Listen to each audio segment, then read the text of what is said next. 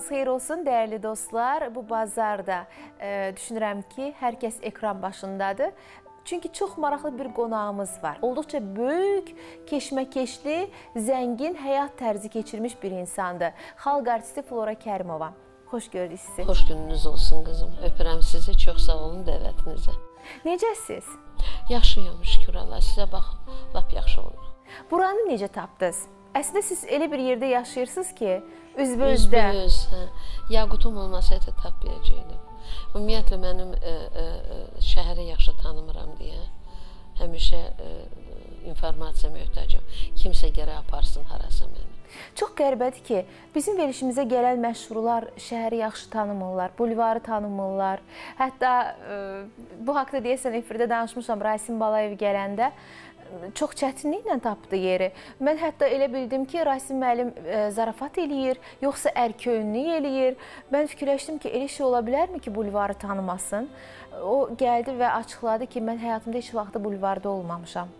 Təsəvvür eləyin ki, yəni Şüvalanda yaşayır, o bağda yaşayır və onun kimi çox qonaqlarımız oldu. Daha sonra adiləşdi bu suala verilən cavablar. Artıq adi olaraq qəbul etdim ki, şəhəri yaxşı tanımırıq və bulvarda çox olmamışıq. Deyim sizə niyə? Mən düşündüyüm qədər insan yaşadı olduqca qapanır özündə. Ya keçmiş problemləri ona ağrısın ə, sakitləşdirməyə qoymur ya gələcəyindən biraz ehtiyatlanır, ya bugünkü günün hansısa bir ağrıları ona e, imkan vermir şaxələnsin. Haldan hala düşən vaxtları olur deyə e, çalışır az insan görsün. Mən yaşadığımdan danışıram. Artıq e, inandığı insanlarla e, ünsiyyət bağlamaq istəyir, ünsiyyətdə olmaq istəyir. Güvəndiyi insanlara bel bağlayan insanlarla söhbətləşmək istəyir. O da ki, o qədər azdır. Barmaq sayıla ya sayılmır. Siz hər zaman danışanda ağrılarınızdan, acılarınızdan deyirsiniz, vurğuluyursunuz. Amma başqaları sizi elə görmür axı. Qızım, bu beyin bir dəqiqə də olsun ə, ə, sakitləşmir. Bu beyin var gəldən istirahət eləmir bu beyin vadar eləyib məni, şuurumu vadar eləyib ki, qıraqdan özümə baxım və mənim qədər özümə qəddar düşmən yoxdur. Hər şeyi xırdalayıram. Hər şeyə fikir verirəm. Olan olduğumu itirmək istəmirəm. Hansısa bir mərhələyə qalxmışamsa, təbii ki, hansısa bir münasibət görmüşəmsə, o insanların ürəyin qırıb demişəm, deyirəm də, niyə belə idi? Axı təsəvvürümüz ayrı idi. Bax ondan qorxmuşam və təbiətimə e, xislətimlə basqı qoymağa qoymamışam. Yəni o paxıllıqdırmı? İstəməmişəm. E, təbiətim hansısa bir mənə və insanlara gətirən ağrılara ə, baş əysin. Mən necə varam, elə də varam. Əslində insan kimə paxıllıq eləyə bilər? Özündən üstün olan insanlara. Amma sənətin zirvəsindəsiz, həyatda anasız, övladlarınız var, qızınız Londonda, oğlunuz Almaniyada. Ə, istədiyiniz zaman sənəti yarıda qoyub getmisiniz və istədiyiniz zamanda geri qayıtmısınız. Yəni yenidən e, bərpa edə bilmisiniz o məşhurluğu, yenidən o zirvəyə gəlib çıxa bilmisiniz. Amma bu hər kəsə nəsib deyil. Bu siyahını sadaladıqdan sonra mənə elə gəlir ki, əslində e, siz kimə qibdə edərdiniz ki? Qibdə mənəviyyətə. İnsan mənəviyyətə qibdə eləyə bilər. Məndə o olmayıb, düzdür. Çünki deyirəm ki, özümə o qədər qəddar olmuşam ki, təbiət verdiyi, yaradan verdiyi bir xəssiyyəti itirməkdən qorxmuşam. Evdə mən özümə münasibət görmüşəm. Çünki anamın laylası ilə, haycanı ilə, qurbanoğlu ilə böyümüşəm. Deyə o səs qulağımdadır indiyə qədər və o səsi, o o sözləri mən övladlarıma paylaşmışam. Nə görmüşəmsə, onu mən e, bu söz əgər yaraşırsa bu miras qoyuram övladlarıma. Mənim oğlumun 55 yaşı var hay can deyir mənə. Hərdən ə, haqsız olanda, ə, burada olanda deyirəm o Kanya hirslənirdi əlimdən. Hay can mama. Görmədilər belə. Hay can mama. Bax bu bunları itirmək istəməmişəm. Qorxmuşam çünki həmişə demişəm son nəfərim. Nəfəsim son nəfəsim mənim evlatlarımın. Onlar o son nəfəsimin sahibi olacaqlar. Və onları onlar məni rəzil eləmədi. Mən onları özümdən sonra qoyduğum ə, ə, ə, mənəvi mirasla utandırmaq istəmirəm.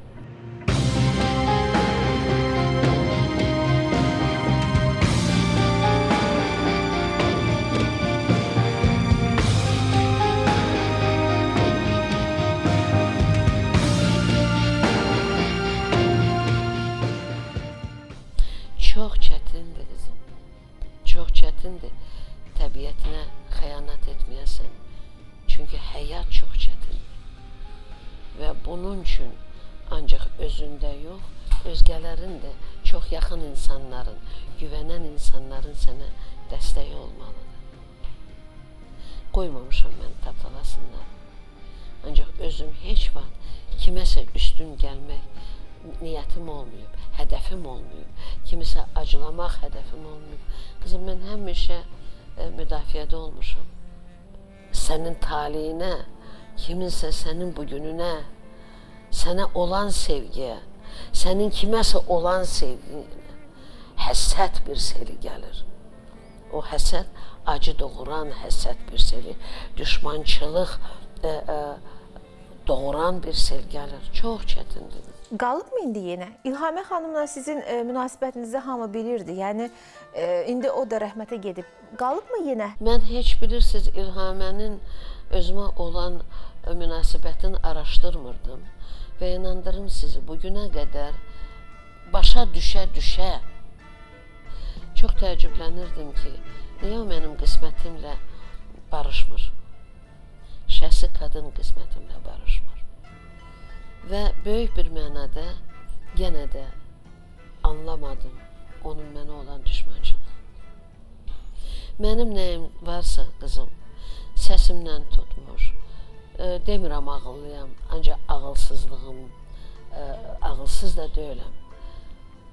Az da olsa özümü idarə edən ağlım və tapdalamağa məni qoymayan ağlım yaradandan gəlir. Mənə bir e, qüsur deyəndə, nədəsə məni təqsirləndərəndə bütün iradlar yaradana olmalıdır. Mən o yaşa yaşamaq e, yolunu e, yazan Tanrının əmri ilə varam bu gün. Doğulan gündən bu günə qədər o necə yazıbsa, mən necə kodektiruot eləyə bilərəm? Və onun yazdığın mənim acıq, məndən acıq çıxmağa nə qədər düzgündür. Ancaq ilham edən söhbət gedir, ümumiyyətlə. Mən deyə qədər başa düşə-düşə anlamıram, niyə barışmırlar?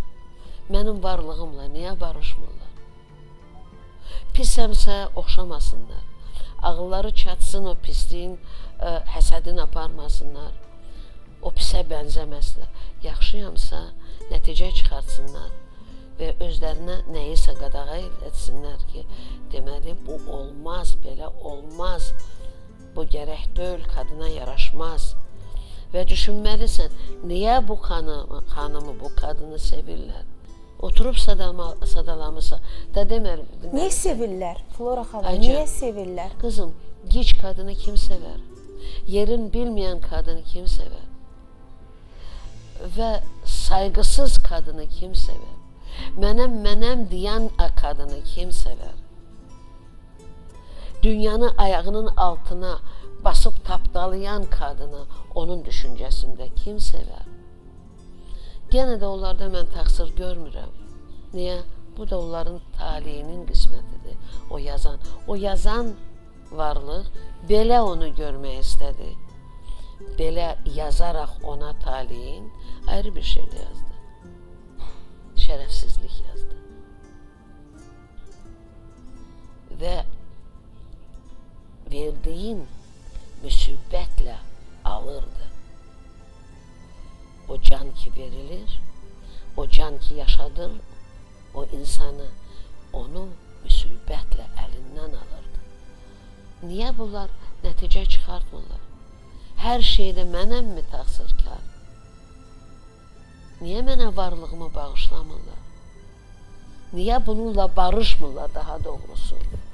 Niyə məni yaddan çıxartmırlar? Niyə hər şeydə bütün öz ə, ə, öz həyatda məğlubiyyətinin başında məni təqsir görürlər, məni təqsirləndirirlər? Niyə? Yenə də deyirəm, pisəm, bənzətməsinlər, yaxşıyam, nəticə çıxartsınlar. Yəni o niyə sözü nə qədər mənim beynimdədirsə, bir hələ də onlar o niyədən düşməlidirlər. Mən nə cavab verim onlara? Niyə səsim var? Niyə dörd oktavadır? Niyə qabiliyyətim var? Niyə mənə gül verəndə mən qalxıb çox sağ ol deyib alıram, oturub da demirəm. Niyə mən uşağı görəndə siz deyirəm, sən demirəm. Niyə mənim həyat yoldaşım qapıdan girəndə mən onu qapıda qarşılayıram? Niyə evladıma haycan deyirəm? Nə bu niyə məndən niyə soruşursan? Niyə belə olmursan? Deməli təbiətinə üstün gələ bilmirsən, gələ də bilmərsən.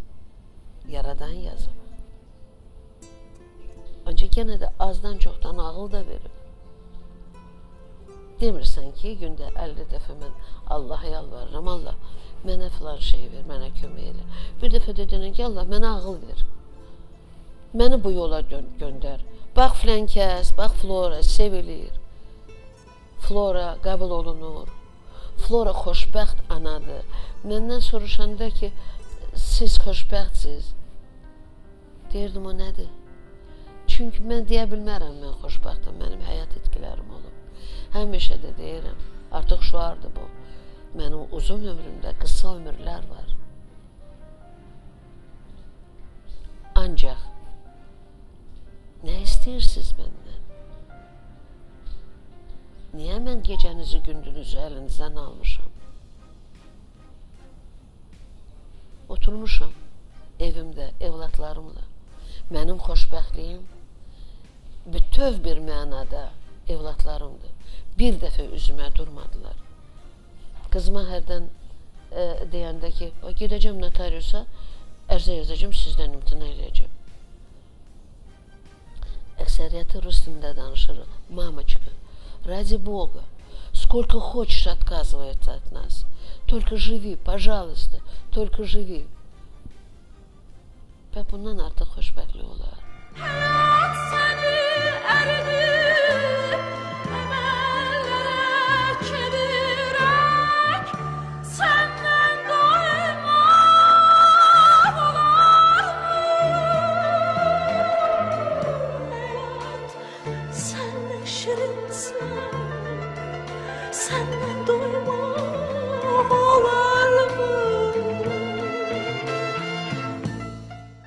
Xanım, mən istəyərdim ki, biraz ə, uşaqlıq illərinə qayıdaq. Bilmirəm nə dərəcədə xatırlayırsınız.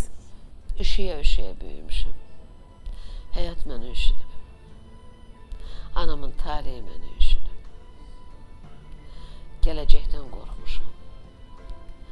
Bilirsiniz, hərdən deyirəm ki, bu xalqımın, daha doğrusu millətimin əbəs yerə muğam deyilən bir sərvəti yoxdur. Sən demə muğam yaranandan biz taleyimizi oxşuyurduq. Hər kəlməsində, hər notunda taleyimizi ağlayırdıq. Mən doğulandan elə bir hiss eləyirdim yaşamaq məcburiyyətində qalan taleyimi və üşüyürdüm Neçənci ildə doğulmusunuz? Fiziki yox, ürəyim üşüyürdü. 41-ci ildə. 23 iyulda. Bir neçə saat müharibədən sonra. Müharibələrin ağrıların uşaqlıq yaşımdan hiss elədim. Necə hiss elədim? Anamın sevgisi qoymurdu belə qucağında saxlayırdı məni. Ə, Nə yedimə fərqinə varmırdı. Mənim gözüm heç vaxt masa üstündə olmayıb. Nə geydimə laqeydəm. Tək sə səliqəli olsun, indiyə qədər eləyəm. Ancaq ə, mən başa düşürəm ki, onda da bilirsiniz, hamı ə, əksəriyyəti eyni cürə yaşayırdı. Bayramı bayram kimi qəbul edirdi. İnsanlar çıxırdı, ə, qurban olum ruhuna, anamın təzyiqləri olurdu, çox belə acı təzyiqlər olurdu. Anam məni qəşəng geyindirirdi. Özü də qamətli qadın idi də, belə gözə gəlimli qadın idi. Ə, geyindirirdi ki, mama qurban indi səni aparacam parada. Təzyiqi qalxırdı, apara bilmirdi. Və bir, bir saat, saat yarım mama çox sevərdi mənə lokun eləməyə, çayı dəmləyirdi, çayla mənə saçma lokunlar edirdi. Saçlarım da qəşəng idi, buranı nəsə bant belə eləyirdi, belə də lokunlar. İndi geyindirirdi məni bu lokunlarla oturmuşam ki, mən dedim, mama qurban, indi başımın ağrısı keçər, durarıq. Görürdüm artıq halı yaman pisdir. E, dedim, mamacık, ничего, ничего, мы в следующий раз пойдем. Tək uşaq olmusunuz evdə? Ə, mənim qəribə taliyim var da. Ana tərəfdən üç evladı var idi. Ə, bir qardaşım, iki bacım. Üçü də dünyasını dəyişdi. Ata tərəfdən bir bacım, bir qardaşım, mən ortada idim. Onları Allah mənə çox görmüş, şükür Allaha. Sağdılar, salamatdılar. E, belə şaxələniblər, nəvələr, nəticələr. Belə. Özümdəki iki nəvəm var. Şirmaya nəvəm var. Qəşəngləri. 134-cü məktəbdə oxudum, Baksovetlə üzbəüz. Deyirlər savadlı idim. Ancaq çox onda görünür sadə löf idim. Sonra böyüdükcə, həyatı bildikcə, yaşadıkca sadə oldum. Ə, Nə deyim sizə? İtkilərim oldu. Həyat qismətlərimi itirdim. Anamın ölümü mənə çox təsir elədi. Atamın dünyadan getməyi 3 ildən sonra anamdan sonra oldu. Ah, kürəyim yanırdı qızım.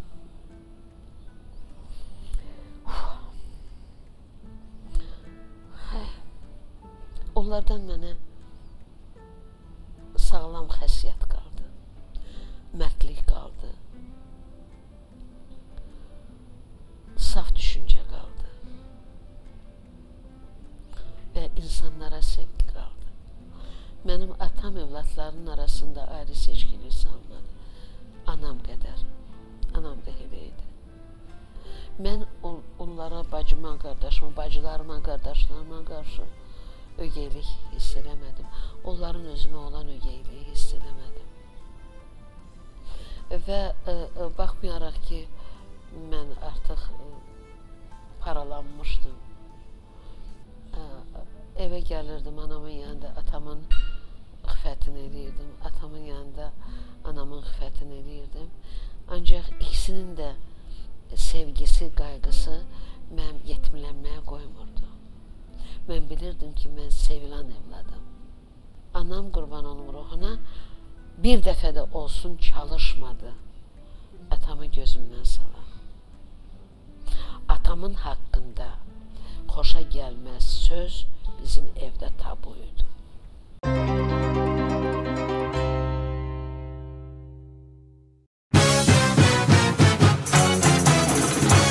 Bugün baharın ilk günüdür. Bugün Novruz bayramıdır və bu bayram münasibətilə e, bütün tamaşaçılarımızı, ATV tamaşaçılarını, hər bir Azərbaycan vətəndaşını təbrik eləmək istəyirik. Bu gün gözəl bir gündür. Elimizin adətləri içərisində, ənənələri içərisində əlbəttə ki, Novruzun çox ayrı, çox xüsusi bir yeri var, çox özünə məxsus bir yeri var. Başda ölkə prezidenti olmaqla, onun ailə üzvləri olmaqla hər bir azərbaycanlını bu gün bizi izləyən, dünyanın bütün güşələrində yaşayan, qanında, damarında Azərbaycanlı qanı axan hər bir insanı ürəkdən təbrik edirik və arzu edirik ki, bu Novruz sevinci, bu Novruz şənlikləri onlara bütün il boyu xoşbəxtlik, səadət, uğur, firavanlıq, əmin-amanlıq gətirsin.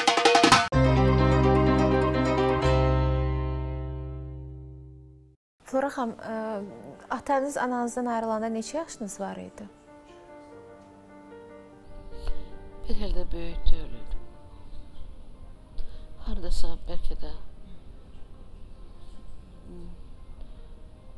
anladığım vaxt 9 yaş. Çünki atam yoxluğunu hiss elətdirmir mənə. 9 yaşında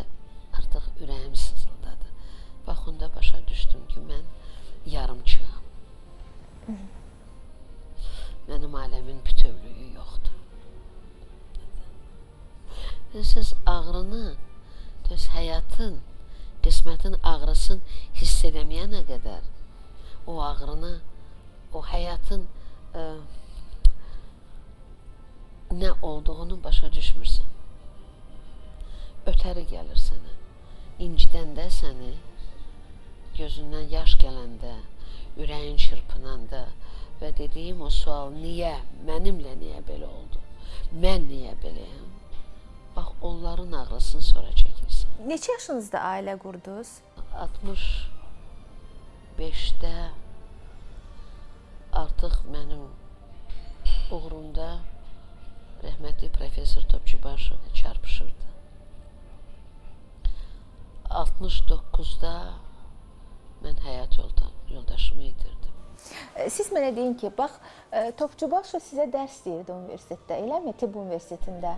Yox, sonra artıq mən yoldaşı olandan sonra mənim səsimin ə, sədası ilə, mahnıların sədası ilə ə, ə,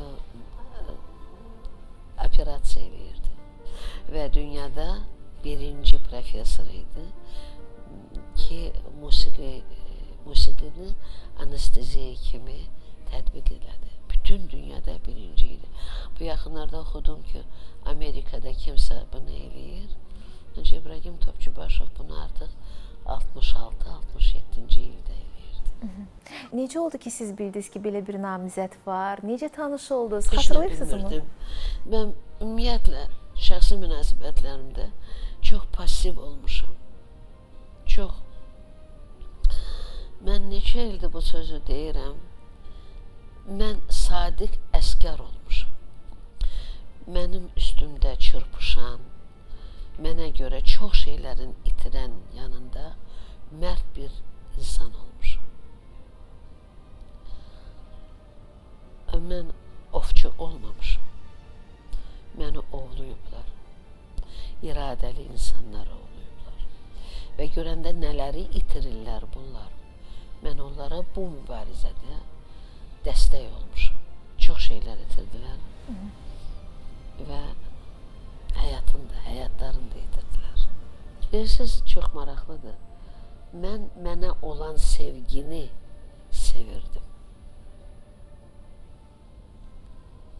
Mən bilirdim ki, mən fövqəladəyəm bu insanın həyatında və o birisi ə, ə, o birisi qismətlərə baxanda bilirdim ki, bu qismətlərində mən nə qədər ucadayam. Məni ötəri bir qadın kimi görmək ə, hədəfləri yox idi. Məni evin xanımı kimi görmək istəyirdilər və buna çox inadla gedirdilər. Yaşca sizə nə qədər böyük idi Topçubaşov? İbrahim bəy 17 il məndən böyük idi. Fayenka qızımın atası 5 il məndən kiçik idi. İkisi də çox ə, mənə çox qəribə gəldi. İbrahim bəy mənə mami deyirdi. Və qızım indi mənə mami deyir. Xəbəri olmadan İbrahim bəy məni necə çağırırdı? Mami deyirdi. Rəhmətlik Fainka da mənə anam deyirdi. Oldum ev xanımı. Oldum ana. Ancaq mən bilirdim ki, bu naxışdır. Bu naxışa kör baxmaq olmaz.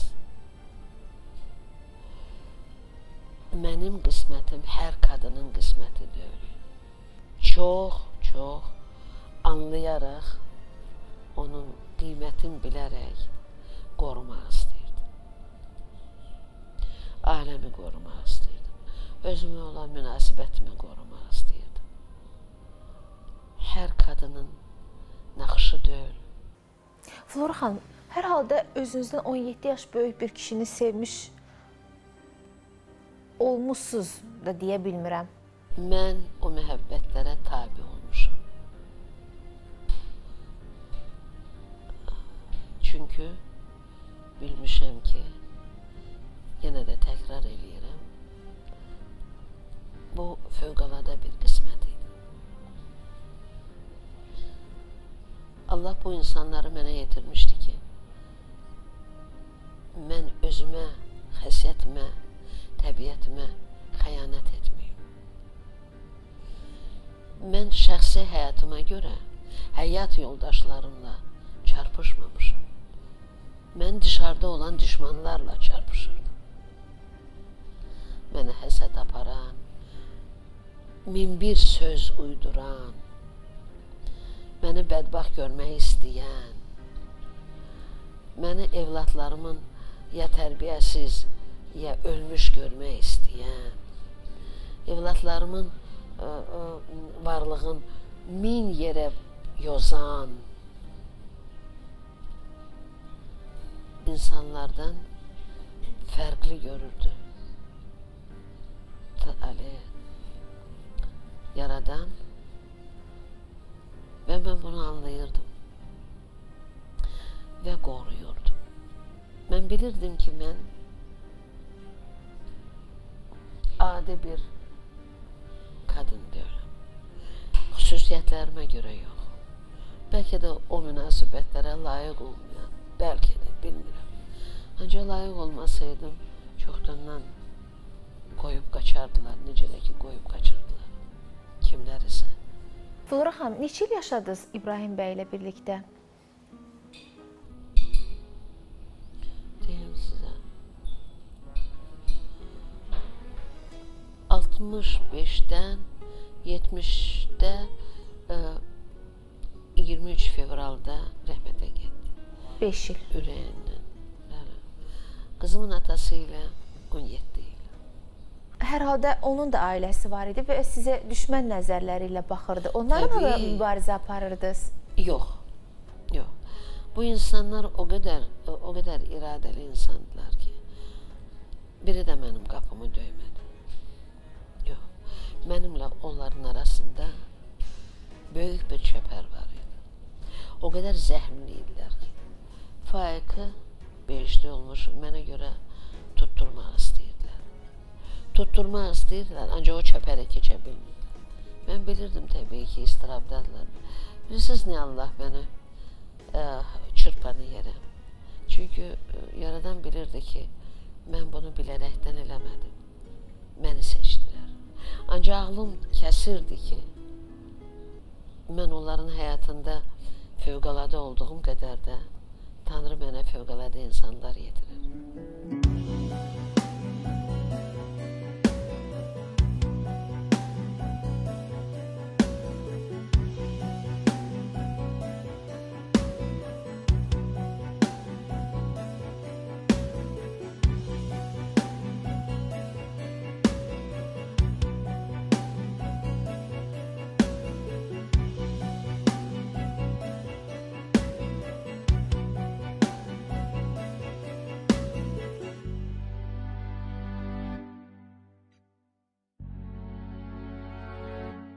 İsveçrə bankında pul qoyulmamışdımı sizə? Yox qızım, yox. Rəhmətli İbrahim Topçubaşov Türkiyədə işləyirdi. Onun böyük bir qonorarı oldu. Bizdə ə, ə, bizi bir fotoqraf var idi də. Sağlığında həmişə ə, şəklimizi çəkirdi. Bərbəzəklərimi görürdü də. Mən də elə o vaxtdan geyən dövrüdüm. Hərdən rəhmətlik deyirdi ki, Moskvadan dünya şöhrətli Vişnevski gəlib. Anam, mami, bir gün banket olacaq, bir şey yeyinə. Bu da niyə deyirdi rəhmətli? Çünki onlar Moskvadan gəliblər də, rusdular. Belə bu hər şey barmaq, on barmaq, burada, burada hamısı. Və mən deyəndə ki, axı mən geyə bilmirəm. Geyəndə də qızım belə üzüyü belə çöndərirdim ki, e, qaşı görünməsin. Brasleti belə yedim qaşı. Mənə dedi ki, sən məni başa düş də. Onlar bərli bəzəkli gəlirlər. Sən Azərbaycanda bilirlər ki, Azərbaycan qadını bərbəzək sevir. Ümumiyyətlə də Qafqaz qadını. Sən heç nəsiz gəlsən mənə ayıb olar. Geyirdim. Və çəkilirdi də, şəkil çəkirdi. Və yavaş-yavaş, yavaş-yavaş neçə ilin ərzində bunları gördü. Beşlik olmuş dünyasını dəyişəndə hələ 40-ı çıxmamış gəldi ki, gəl evlənək. Ay valla gözlərim bərəldi. 40-ı ya çıxıb təzə, ya hələ çıxmayıb. Nənəmlə eşidən sözü dedim. Dedim, siz istəyirsiniz ki, mən ifadəmə görə bağışla. Mən atın yerinə eşək bağlayım. Eşitdiyim sözü dedim. Flora xanım, hər dəfə həyat yoldaşınız rəhmətə gedib. Bunu nə ilə əlaqələndirirdiniz? Faik Ağayeva çox lazım idi məni gözdən salmağa. Mənim haqqımda böhtan yazanda mənim adımı qoymuşdu Çornevdəva.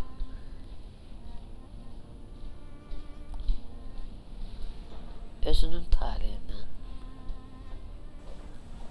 Əslində bunu danışırlar. Deyirlər ki, siz cadu eləyirdiniz deyə e, hər dəfə ayrılıb sizi gəlib alırmışlar. Yəni hər dəfə həyat yoldaşlarınız məhz sizdən bərk-bərk ona görə yapışırmış. Qurban olum, mənim bir e, zarafatım var. Belə absurd şeylər eşidəndə həmişə zarafatla deyirəm, desən öl. Niyə onda o birisi qadınların cadusu onlara kömək eləmədi? Biri də tapılaydı mənim kimi mənə cadu eləyirdi. O cadu ilə evdə saxladığım kişini cadu ilə mənim əlimdən alaydı. Nə oldu elə hər şeydə mən qüdrətliyəm. Mən tabut dalıca getmişəm. Mən barmağımla sadalamamışam. Və bununla qurban olum yaradana insanlığımı itirmədim. Həyata ə, nifrətlənmədim.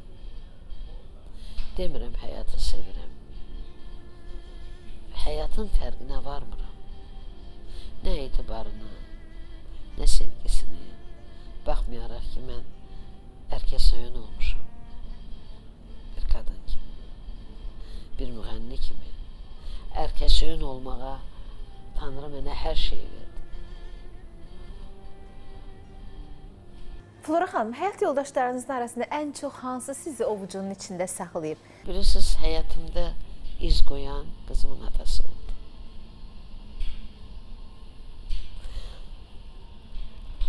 Ağılla mən başa düşdüm, indi də bilirəm ki, İbrahim bəyin mənim həyatımda böyük bir mənası oldu. Ancaq iz qoyan qızımın atası oldu. Qızınıza görəmi? Yox, şəxsiyyət kimi. Ancaq, daha doğrusu ancaq ona görə yox. Şəxsiyyət kimi. Qızım, mən 17 il bu adamla bir qapı açdım. 17 ilin ərzində bir dəfə də görmədim ki, mənim yanımda, ya qonaqların yanında, ziyafətlərdə o əlini cibinə atıb, pul çıxardıb hesablaşma hesabı verməsin.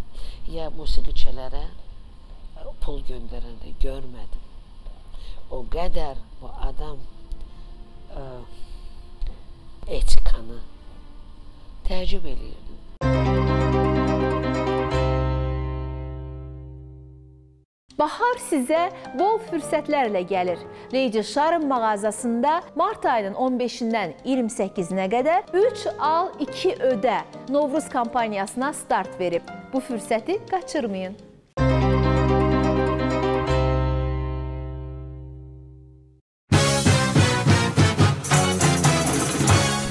Azərbaycanlıların hamımızın ən böyük arzumuz odur ki, inşallah gələn Novruz bayramını Ali Baş Komandanın, Cənab Prezidentin rəhbərliyi altında bir dövlət olaraq, bir millət olaraq işğaldan azad edəcəyimiz gözəl torpaqlarımızda, gözəl Dağlıq Qarabağımızda, Şuşamızda, Xankəndimizdə, Xocalımızda, Ağdərəmizdə, Dağlıq Qarabağ ətrafı işğal altında olan o, o gözəl bölgələrimiz var ki, inşallah ki biz onları hamısını işğaldan azad edəcəyik. Əziz Azərbaycanlılar, hamınızın bayramınız, bayramınız mübarək olsun. İnşallah gələn Novruzu biz hamımız buna inanmalıyıq. Hamımız da bunun üçün çalışmalıyıq ki, gələn Novruzu işğaldan azad edəcəyimiz o gözəl torpaqlarımızda da qeyd edək. Oğlum elə bir sizə qurban olum. Fainkanı itələyib durub yerində. Bir dəfə mənim yanımda siqaret çəkmədi. Fainka girəndə içəri ayağa qalxırdı. Axıra qədər də elə. Mən gələndə məni qarşılayır, ayağa qalxır, öpür. Flora xanım, doğma oğlunuzdurmu? Qızım, mən qızım doğulanda ə, və başa düşəndə ki, artıq üzərimdə qızımın da məsuliyyəti var oğlumdan başqa. Ə, intervyularda dedim ki, oğlum var, qapı döyəcəm. Qızım var, qapımı döyəcəklər. Bax, o hissiyyətlə mən qapı döydüm, oğluma toy elədim, iki nəvə sahibi oldum. Ağzı dolu mənə nənə deyirlər. Nə fərqi var? Əsli ana ancaq evladın dünyaya gətirən qadın deyil. Əsli ana ona tərbiyə verən qadındır. Mən evladıma tərbiyə vermir, düz tərbiyə verməklə, düz istiqamətləndirməklə əsli ana oldum. Oğlunuz e, Zümrüddən daha mı böyükdür? Oğlumun 13 yaşı var idi, Zümrüdüm anadan olandı. Oktay ilk dəfə sizə nə vaxt ana dedi? Oktayı mənim ana bir bacımın, məndən bir neçə yaş böyük bacımın oğludur. Oktay. Bacım xəstə idi. 5 aylıqdan mən götürdüm.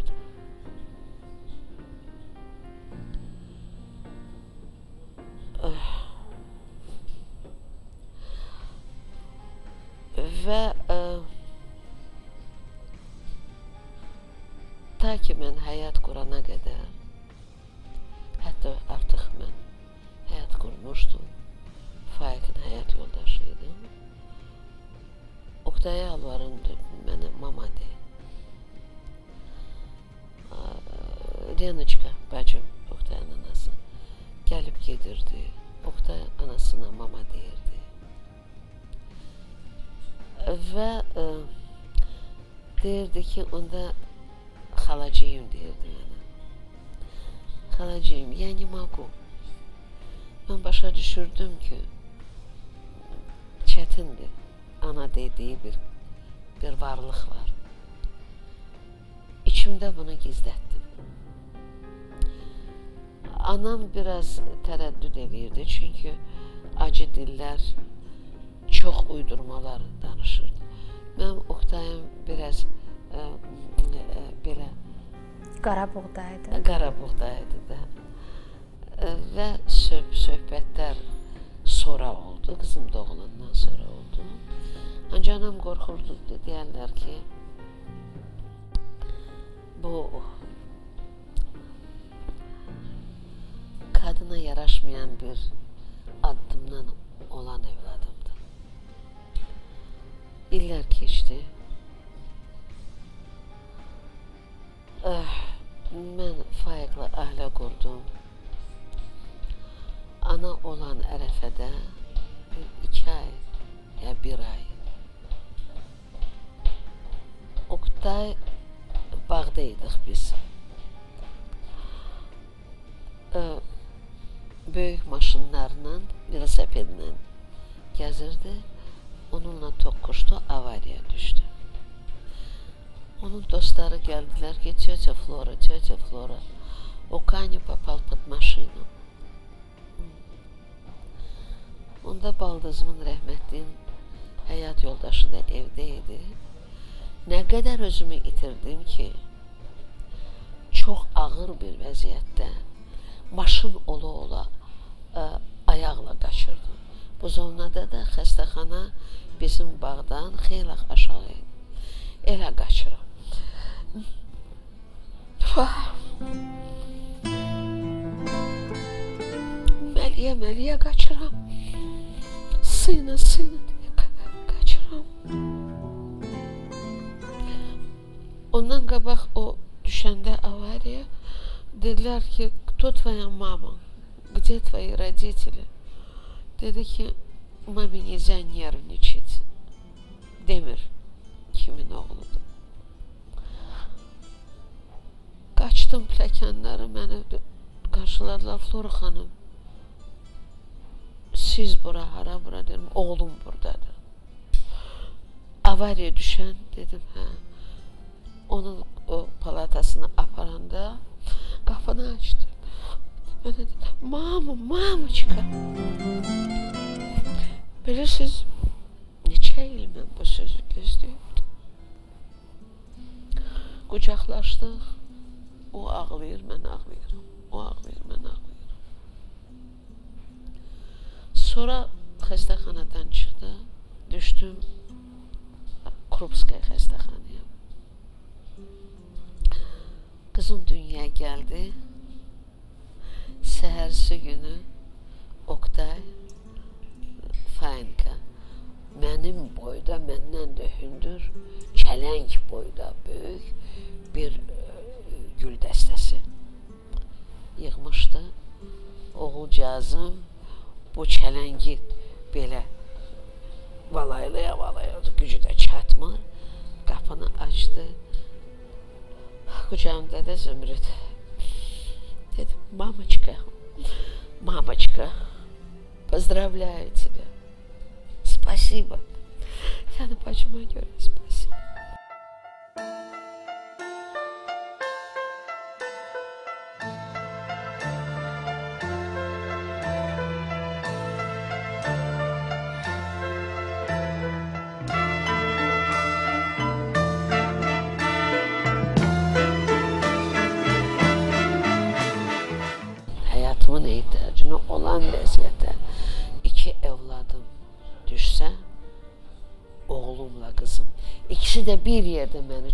çağırsa, mən qaçaram oğlumun yanına. Əvvəl əlimi ona uzadaram. Sonra Zümrüdə uzadaram. Çünki Zümrüd bu etirafımı mənə bağışlamayacaq. Flora xanım nə iş görür Almaniyada? Nə işin sahibidir? Ay, indi iş adamıdır. Pul qazanır. Mənə bilir, maman, ты не беспокойся. Sənin mənim kimi oğlun var. Özü mü istədi Almaniyaya gedib yaşamağı, yoxsa siz? Yox. Gəlinim gedirdi Almaniya. Ailəsi ilə bir yerdə. Bunlar da birinci sinifdən bir yerdə oxuyurdular. Oktay da qorxdu ki, çox da qəşəngdir gəlinim. İndi də qəşəngdir, biraz analıqdan sonra kökəlir. Qorxdu, qorxdu ki, qızı belə evləndirərlər kimdənsə, kimdənsə da əlindən çıxar. Mamuçka mənə deyir, mən gedib yola salaram orada Almaniyada. Alladırdı məni. Mən də tipoy adam, inanmışam. Gedib yola salıb qayıdaram. Hə, yaxşı oğul. Get yola sal qayıt. Bəli, getdi yola salma. Gözləyirəm, gəlmir. gözləyirəm, gəlmir, gözləyirəm, gəl. Ayaq ol, zəng elə, hava kəs. Mamiçka, через 3-4 дня я буду дома. Мамочка, через неделю я буду дома. Necə elədi? Bir ay, iki ay. Dedim, oğul, что-то мне не очень нравится. Dedim, мамочка, я не могу ее здесь оставить одну. Ayıq ol, valideynləri var, bacıları var.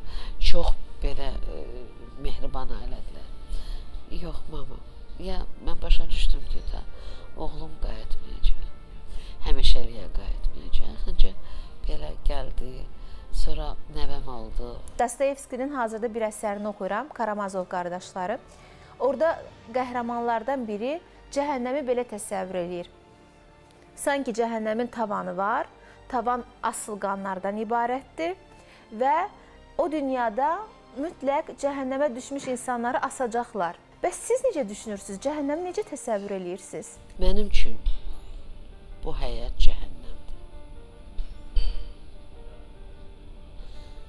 Mən cənnətə inanmıram. Və cəhənnəmə də inanmıram. Çünki insanın cismi torpaqda çürüyür. İstərsən, istəmərsən, istəyir palıd tabutunda get, istəyir nə tabutda gedirsən, istəyir kəfəndə tapşırıl dünya. E, istəyir kəfəndə tapşırıl. Və deyəndə ki, asılqandan asılır. Ruh da asılmır. Ruh amorfdur. Və deyilənə görə mən bununla razı deyiləm. Allah ruhlara bağışlayır. Deyilənlərə görə.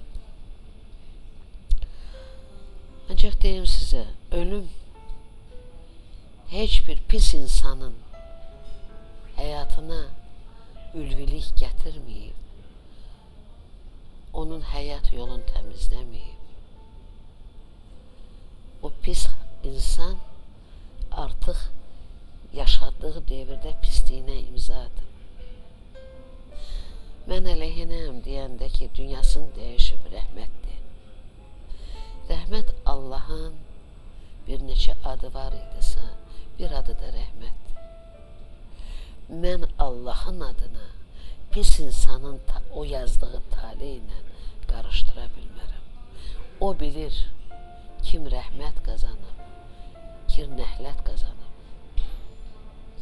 Mən nə onun qarşısında riyakar olmaq istəmirəm, nə millətimin üzünə yalan danışmaq istəmirəm.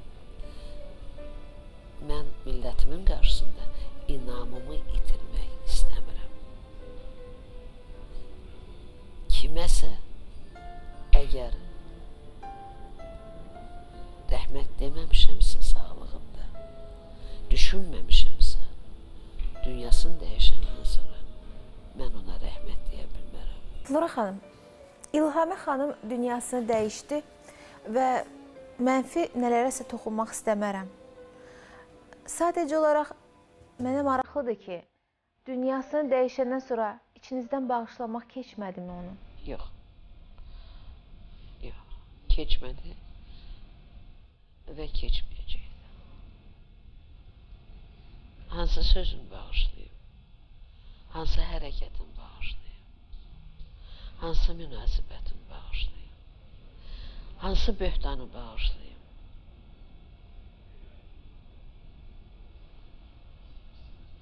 Necə bağışlayıb? Mən dediyim kimi ölüm kimə bəraət qazandırdı? Ölüm kimin əməllərinə daha doğrusu bəraət qazandırdı? Əgər mən bir neçə il bundan qabaq bir neçə dəfə məni barışığa çağıranda ona yox demişəmsə, niyə yox demişəm? Əməlləri yadımdadır deyə yox demişəm. Bu dəhşət burada sönmür. İndi hansı üzlə mən bu əməlləri bağışlayım? Kim mənim əziyyətimi mənimlə bölüşdü o illər? Məni qəddarlıqda ittiham edənlər, daş ürəkli kimi düşünənlər, onlardan kim mənim yadım, yanımdaydı? Kim? 73 il ərzində 60 iki il səhnədə ola-ola olmayan bir insana eziyet çeken bir insana kim teselli verdi? Zümrüt'ün atasının naşısı evde olandı. O geldi bize ve kışkıra kışkıra Zümrüt'ün evinde atasının naşısı ortalıkta ola ola Faik olan otaqdan insanları qovurdu. Çıxın buradan, çıxın buradan. Nədir, nədir? Məni təkləmək istəyirdilər. Mən bunu bağışlaya bilərəm. Kiməsə imkan yaradırdı. Və o ərəfədə, o anda mənim üstümə bıçaqla gəlirdilər. Mən bunu bağışlayın qızım. Faiqin naşısı dura-dura. Qızı qorx qorxusundan anasına qısıla-qısıla. Qızının gözünün qabağında mənə bıçaq gələndə üstümə şığıyandı. Yaxşı, mən necə deyim siz gözlədiyiniz sözü?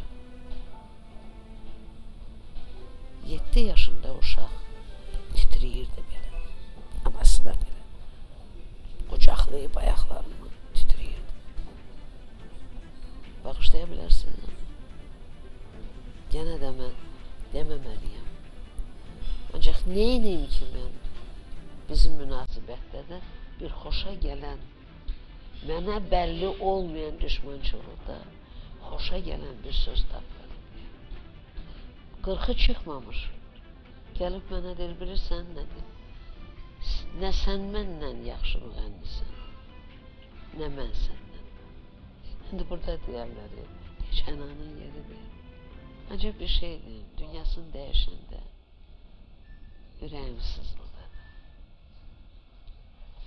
Birinci inanmadım. Bir e, evlad qədər sevdiyim, istədiyim bir nəfər zəng elədi. Onda da o dəqiq bilirdi, inandım. Və birinci dəfə inanmaya, inanmaya ürəyim ağrıdı. Sonralar isə bax indiyə qədər onu o dar qəbirdə təsəvvür eləyəndə və çox qorxduğu qurt quşlar gözümün qabağında gələndə ürəyim ağrıyır. Ancaq ona görə yox, dünyasını dəyişdi. Ona görə ki, biz nə vaxtsa bu yola keçəcəyik. Yəni, bu elə bir qismətdir ki, nə qədər yaşayırsan, yaşa. Nə qədər pislik edirsənsə, elə ki, e, cəmiyyəti, cəmahatı, insanları yanında saxlaya biləsən. Yenə də tənha bir yerdə, tənha. Mən çox xəyiş edirəm, bu sözü pozmayın, çürüyürsən. Və heç kim sənin dadına çatmır. Mənim qızım zəng elədi. Mama, mən səndən çox xəyiş edirəm. Bizim adımızca onun ailəsinə başsağlığı. Oğlum zəng elədi, mama, başsağlığı ver. Dedim, mən verməyəcəm. Yaqut deyə bilər. Yaqut da başsağlığı səsləndirdi. Ölümdən qorxursunuzmu? Yox, Hazırsınızmı ölümə? hazıram. Mən elə doğulandan hazıram qızım. Ancaq o illər e, cavanlığım var idi və ümidim var idi. Arzularım var idi. Sonra həyat yaşatdıqca mənə istədiklərim ümidimi itirdim. son beşiyimiz, dar beşiyimiz mütləqdir deyə qorxub əlimdən nə gələcəkdi? Əksinə, evladlarıma həmişə deyirəm ki, qorxmayın. Məndən sonra yaşamınızdan qorxmayın. Ancaq onu bilirəm ki, mənim qızımın taleyi mənəm qədər Allah eləməsin olsun. Mən istəyirəm dünyadan köçəndə evladlarımın ağırlığın, gələcək ağırlığını özümlə aparım. Verilişi yekunlaşdırmaq məcburiyyətindəyəm. 2 saat yarımdır biz çəkirik və bilirəm ki, yalnız 1 saat efirə verə biləcəyik. E, hansı söhbətlərin bəxtinə düşəcək efirə getmək hər halda montaj zamanı məlum olacaq, amma inanıram ki, olduqca dəyərli fikirlər söylədi. Təşəkkürlər bu gün bizi izlədiyinizə görə. İnşallah gələn həftə yenidən qarşınızda olacağıq. Allah əmanət ol Azərbaycan.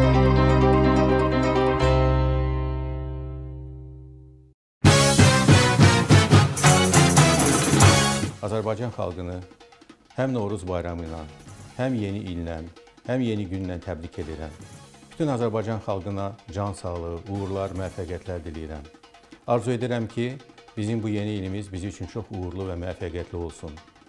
İnşallah bizim cənab prezidentin yürütdüyü siyasətin nəticəsində işğalda olan torpaqlarımız azad olunsun, qaçqın və məcbur köçkünlərimiz öz dədə-baba torpaqlarına qayıtsın və öz torpaqlarına yiyə dursunlar. Mən inanıram ki, üzümüzə gələn illər bundan da uğurlu, bundan da müvəffəqiyyətli olacaq. Azərbaycanın gələcəyi çox uğurludur. Bu işdə hər bir Azərbaycan vətəndaşı dövlətə və onun prezidentinə möhkəm dayaqdır, ona arxadır və ona dəstək verir. Mən inanıram ki, Azərbaycan xalqı öz müstəqilliyini ilbə-il möhkəmləndirəcək. Öz tarixini ilbəli yazacaq və bu müstəqillik Ulu Öndər demiş ki, əbədi olacaqdır. Bir daha bayramımız mübarək olsun, yeni ilimiz mübarək olsun.